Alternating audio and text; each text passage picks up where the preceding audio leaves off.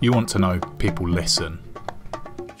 Over 65% of viewers watch more than three quarters of a video, which is more than we can say about text based content.